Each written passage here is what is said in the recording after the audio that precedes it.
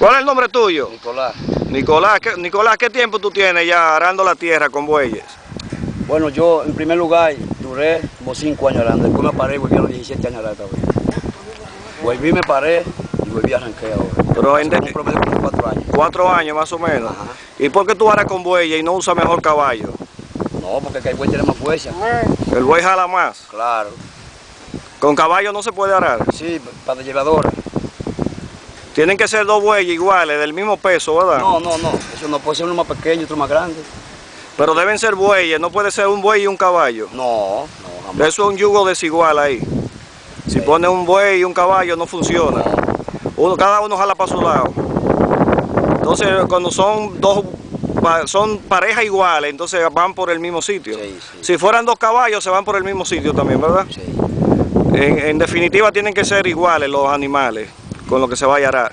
¿Y qué, qué más efectivo para arar la tierra? ¿Los bueyes con ese sistema de arado o con, con una, con un gredar, tú sabes, No, con un tractor? El, tractor es mejor, porque el tractor puede trabajar con la lleva alta, ahora la tierra, pues, después vuelve, a los 15 días, vuelve y le pasa, una cosa le llaman rata, a nivel la tierra, la limpia, Sí. ajá, y, la, y la nivela.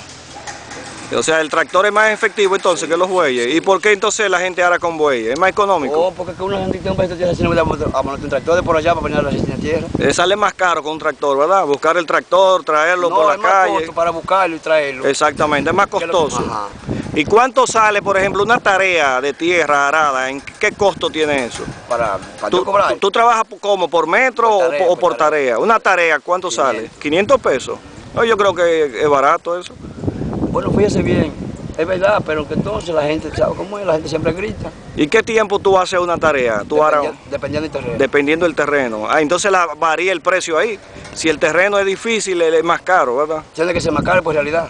Tiene que ser más caro. Así es, si es rocoso, si es pedregoso. Pero tierra sí, eh, ella está media fuerte porque está media seca, pero es mejor. Porque si fuera tierra de tocones, piedras, se coge más tiempo. Esas son cuatro tareas, pero yo mañana temprano, temprano, si yo quiero. Entonces, sí, tú la haces en, en día y medio eso. Mañana. Dos días. Yo terminé hoy. Yo Tú empezaste hoy Y termino mañana. si y quiero. termina mañana. Es decir, que en dos días, ¿cuántas tareas hay? Cuatro. Cuatro. Te gana dos mil pesos. ¿Y a los bueyes cuánto le toca de eso? La amistad, porque no son míos. Ah, los bueyes no son tuyos, son... Ok, o sea, tú te ganas mil pesos en esos dos días. Oh, perfecto. Bueno, es un trabajo realmente que, que si son varias tareas vale la pena, ¿verdad? Eh, bueno, ya te agradecemos esta participación tuya, Nicolás. Ajá, gracias. Ok, gracias a ti por, por permitirnos esta entrevista. Gracias, nos Ok, vemos. bye. Vamos. Bueno, que le vaya bien. Gracias por todo. Yo lo borreo atrás de ellos, en los surcos. Hey. Que tenga un buen día. Mm.